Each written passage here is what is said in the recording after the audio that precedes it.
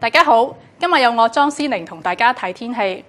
香港今日嘅天氣都仲係好熱喎，提提大家酷熱天氣警告現正生效，大家記得要飲多啲水，同埋保持良好嘅通風啦。睇翻大範圍嘅衛星雲圖，可以見到華南一帶嘅雲量都係比較少。今日香港有唔少陽光，所以晏晝大部分地區嘅最高氣温都升到去三十三、三十四度。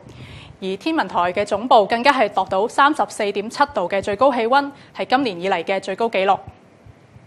預測今晚同聽日嘅天氣係大致天晴同埋酷熱，最低氣温大約係二十八度，而市區嘅最高氣温會係三十四度，新界會再高一兩度㗎。風方面係吹輕微至和緩嘅南至西南風，而預測聽日嘅最高紫外線指數會係十一，強度屬於極高。由於受到高空反氣旋嘅支配，預計今個星期酷熱天氣將會持續影響香港，而去到下個星期初期，將會有一道低壓槽為華南沿岸帶嚟驟雨。由於聽日係公眾假期，我哋預計酷熱嘅天氣仍然會持續。如果大家係諗住出去戶外活動，又或者係仍然要工作嘅朋友，就記得要避免長時間喺戶外暴曬。